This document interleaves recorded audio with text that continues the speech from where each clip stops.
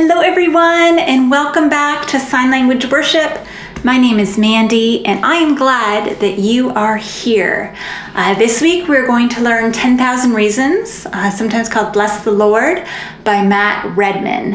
Uh, it's a very popular song, often sung during church worship, so I wanted to sign it for you in case you're in a situation that you're at church and you're not allowed to sing.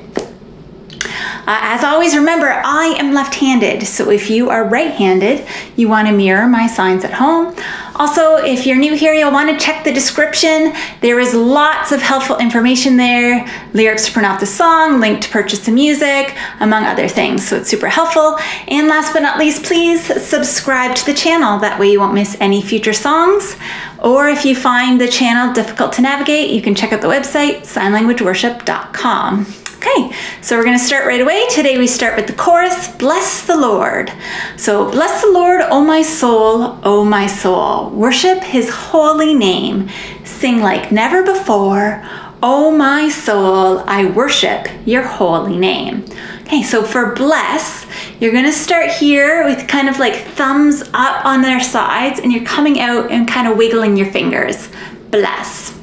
Bless the Lord so you're gonna make an L and go from your shoulder to your hip. Okay, non-dominant shoulder down to your hip. And then if you have time, you can bring it up. Okay, Lord. So that's kind of the sash, symbolizing the sash that God might wear. Lord. And then O. So you don't have to sign O, but it's just making the letter O and kind of circling it a little.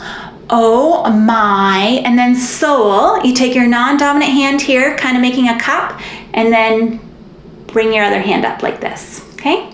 So bless the Lord, oh my soul, and then oh my soul, worship his holy name. So for worship, you're going to, it doesn't matter which hand is over the other, but you're gonna clasp one hand over the other, circle in towards you, and then up worship.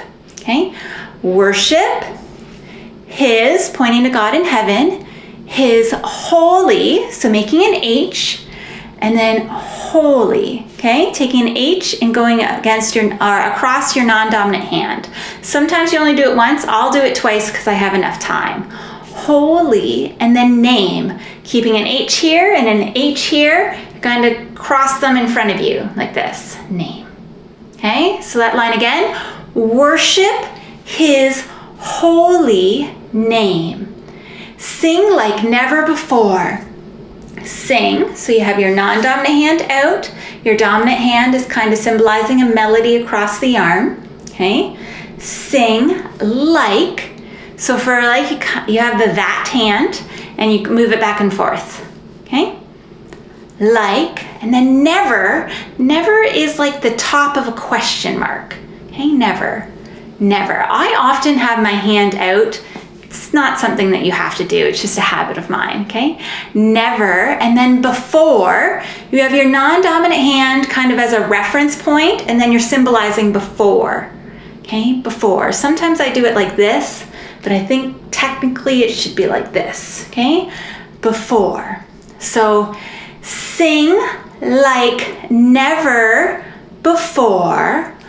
Oh, my soul, I worship your holy name. I worship your holy name. Okay, let's try that from the top. Bless the Lord, oh my soul, oh my soul. Worship his holy name. Sing like never before. Oh, my soul, I worship his holy name. Okay, we'll do it one more time. Bless the Lord, oh my soul. Worship his holy name. Sing like never before. Oh, my soul, I, and I like this at your chest, I worship your holy name. Hey, And that's the chorus. So I hope you guys do well with that. Tomorrow we will work on verse one. Hope to see you there. Bye.